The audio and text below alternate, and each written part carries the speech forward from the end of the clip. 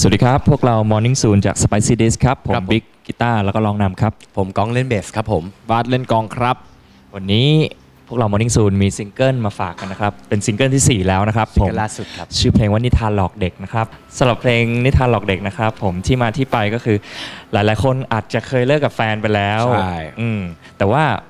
ยังไม่ลืมแฟน มันก็ยังคิดถึงกันบ้างแหละ เศร้าแน่ๆ ก็เลยบางคนก็บอกว่า เอ้ย เดี๋ยวเวลาก็อาจจะทำให้ช่วยได้ลืมได้อ่าหรือว่าบางคนก็บอกว่า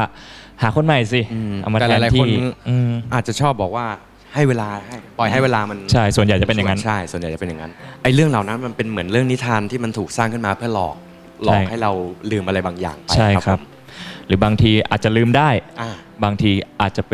เจอแฟนเก่าในโซเชียลอย่างเงี้ยอื มมันก็จี๊ดขึ้นมาได้นะใช่ฮะอืมสำหรับกระบวนการทำงานของพวกเรา Morning Soon ก็ยังเหมือนเดิมครับครับพวกเราก็ยังทำดนตรีกันเหมือนเดิมใช่แต่ว่าเพลงนี้พิเศษอย่างหนึ่งคือ ผมเป็นคนเขียนเนื้อร้องแล้วก็ใช่ร้องเองร้องเองาโดย 2 เพลงแรกเริ่มใหม่กับคนเก่าแล้วก็จำเอาไว้เนี่ยเป็นพี่เป้วงไม้เป็นคนแต่งเนื้อร้องและทำนองครับแต่ว่าเพลงนี้ผมเขียน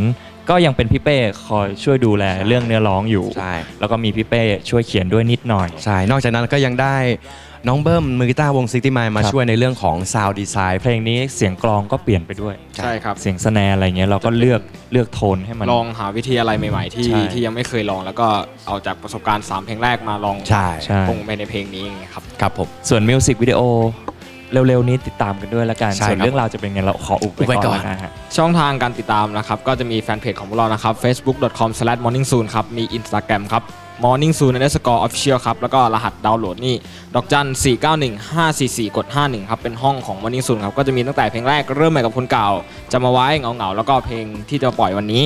นิทานหลอกเด็กครับผม แล้วก็มีทาง iTunes Deezer KKBox แล้วก็ Line Music ด้วยครับ แล้วก็อย่าลืมติดตามข่าวสารของพวกเรา morning soon ได้ที่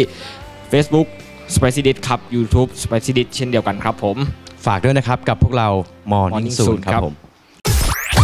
95.5